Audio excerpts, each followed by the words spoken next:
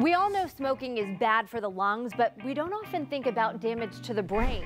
The World Health Organization says studies show smokers are actually at a significantly higher risk for dementia. But we know that um, smokers have a 30% um, increased risk of developing dementia and even 40% um, higher likelihood of developing Alzheimer's disease. The more a person smokes, the higher that risk climbs. But it's not too late. In today's Healthy Dose, some good news from Dr. Jasmine Reese the assistant professor of pediatrics at Johns Hopkins All Children's Hospital. She says quitting at any time is beneficial. Uh, part of the, the recent research that was really interesting to me is that uh, when they compared smokers to non-smokers, so somebody who had quit after nine years, their risk of developing dementia looked the same as those who were never smokers. The same.